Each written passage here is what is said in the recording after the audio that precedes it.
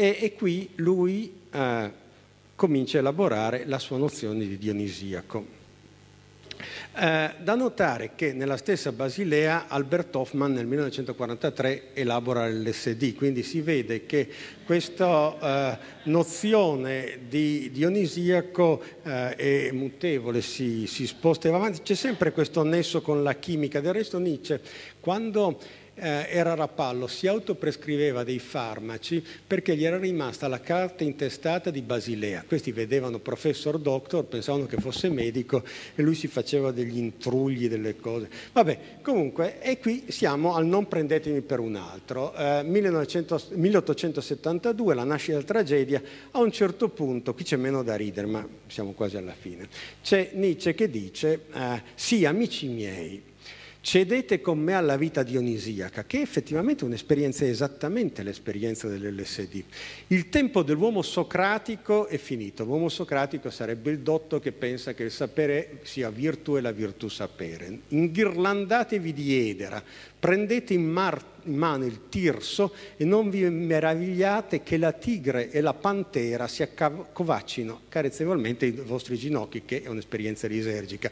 Ora osate essere uomini tragici, già che sarete liberati. Accompagnerete il corteo dionisiaco dall'India alla Grecia, armatevi a dura lotta, ma credete ai miracoli del vostro Dio. Qui effettivamente aveva fatto questo stile un po' gonfio e goffo, aveva anche, eh, come dire, dato man libera a Vilamovitz Möller Möllerdorf, più giovane di lui di quattro anni, di dire sì, adesso il professore è arrabbiatissimo del fatto che lui fosse andato in cattedra così giovane, gelosissimo, ehm, aveva detto, beh, insomma, il professor Nietzsche prenda pure il tirso, la mitra, tutto quel che vuole, ma la pianti di insegnare, perché cioè, vi prendereste a casa uno che dice osate essere uomini tragici già che sarete liberati. Dopodiché, questo è come dire libertà di insegnamento, ma qui c'è un punto che fa pensare. C'è questo libro, peraltro probissimo, degnissimo, di introduzione alla nascita della tragedia di un certo Vibrecht Ries, che dice segue da questo passo una considerazione che oggi appare piuttosto problematica.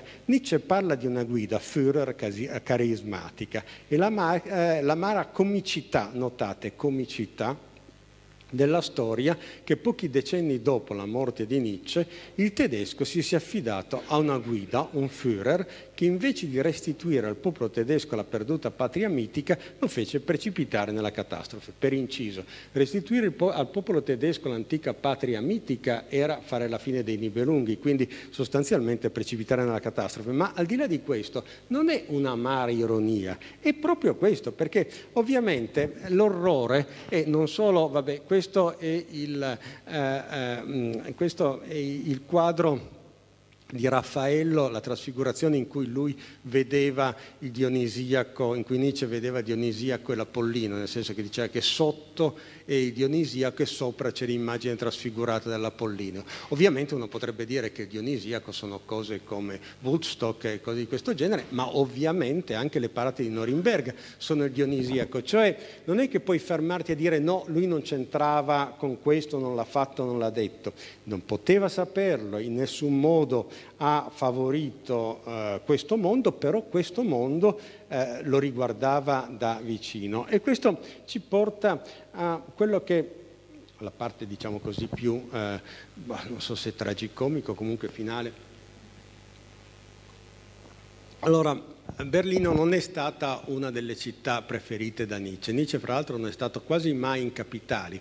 Aveva pro- progettato di andare a Vienna con eh, Re e eh, eh Lu eh, per andare a studiare tutti quanti e tre insieme medicina, però come sappiamo le cose sono andate altrimenti, poi è stato a Roma un paio di volte, a Parigi non c'è mai stato, a Berlino è stato tre volte, una volta per delle questioni militari, cioè di servizio militare, un'altra volta per trovare un suo amico e la terza volta per trovare lui che non si è fatta trovare. Comunque il, eh, il punto è che eh, Berlino è anche come dire, il luogo di certe catastrofi tremende che hanno caratterizzato la nostra, la nostra storia.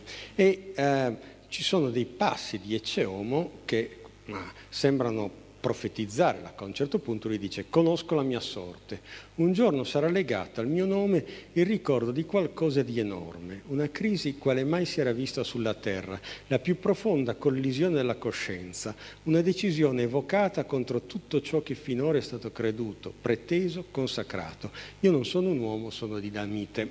Era un commento che era piaciuto tanto a Nietzsche perché era la recensione di un giornalista svizzero ad al di là del bene e del male, dice questo qua è dinamite, eh, gli piaceva tanto, non sono un uomo, sono dinamite. Ora, per esempio, eh, proprio il summentovato Derrida ha detto una cosa molto giusta e lo diceva in un periodo non facile perché le letture prevalenti di Nietzsche all'epoca era che Nietzsche fosse uno di sinistra, qualunque cosa questo potesse significare. Lui ha detto, eh, ovviamente non possiamo imputare a Nietzsche l'uso nazista dei suoi testi fra l'altro, per inciso, la sorella non ha falsificato niente, è falso che la sorella abbia messo delle cose naziste dentro i testi di Nietzsche. La sorella ha falsificato l'epistolario spesso per far credere che era un'interlocutrice privilegiata di, eh, di Nietzsche, che non era il caso. Nietzsche la considerava una deficiente e aveva anche ragione.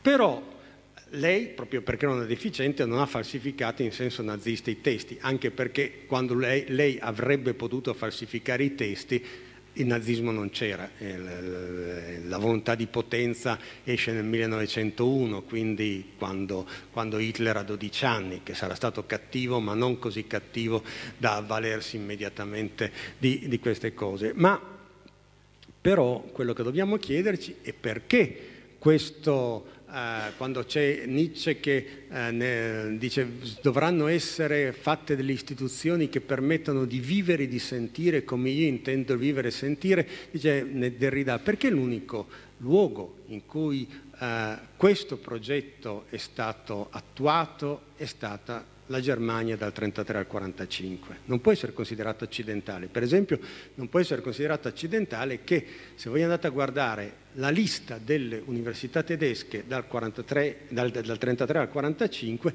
tutte hanno insegnato corsi su Nietzsche, che non è normale pensare. È ovvio che c'era una, una, una, una, consonante. Quindi, ovviamente uno dice, non prendetemi per un altro. Eh, allora, il, il problema uno potrebbe dire, certo, eh, Nietzsche eh, è molto diverso da Hitler, però è legato da un certo numero di fili, che sono fili caratteriali, attenzione, non ideologici, caratteriali con Nietzsche. Per esempio un filo della comicità, cioè uno e l'altro fanno ridere involontariamente. C'è Thomas Mann che ha scritto un, un, eh, un, un articolo eh, nel 1933 intitolato Fratello Hitler, che è bellissimo perché eh, dice eh, c'è tutto in Hitler, in un certo modo mortificante, la difficoltà, la pigrizia, non, non era un essere umano, eh, la pigrizia, la pietosa incertezza dell'infanzia, il non essere mai a posto, il ma che cosa vuoi insomma, il vegetare semi-imbecille nella più profonda bohème sociale e spirituale, il rifiuto in fondo altero, in fondo presuntuoso di ogni attività onorata e ragionevole, in base a che? In base al nebuloso presagio di essere preservato a qualcosa di molto vago che se fosse chiamato per nome e se chiamabile fosse farebbe scoppiare da ridere la gente. È chiaro che qui è piuttosto la descrizione di Hitler. Però al di là della bohème semi-imbecille, il vegetare semi-imbecille, eh, ci sono le difficoltà dell'infanzia e c'è questa cosa qua, c'è questa consapevolezza del fatto che molto spesso molte affermazioni di quelle che vengono fatte da Nietzsche, se fossero enunciate apertamente, farebbero scoppiare da ridere la gente, così come fa scoppiare da ridere la gente. Vabbè, questo è il grande comico del, eh, del, del, Terzo Reich, per quanto può essere comico, e Göring. È da notare che questo è un passo molto bello perché c'è un, in fondo sono tutti i nomi della storia, un passo che non c'entra niente con la nostra dimostrazione, ma è una specie di Göring-Zelig, molto carino. Eh, descrive una riunione nel bunker eh, nel fine aprile 45. Göring aveva sempre attribuito grande importanza all'aspetto esteriore delle cose. Orbene, negli ultimi giorni la sua uniforme come aveva subito una notevole trasformazione. Potevano constatare con stupore che aveva sostituito la stoffa grigio perla con il cachi della divisa americana. Non portava più spalline larghe 5 cm intrecciate d'oro, ma semplici spalline di stoffa sulle quali spiccava solitaria l'insegna del suo grado, l'aquila d'oro dei marescialli del Reich.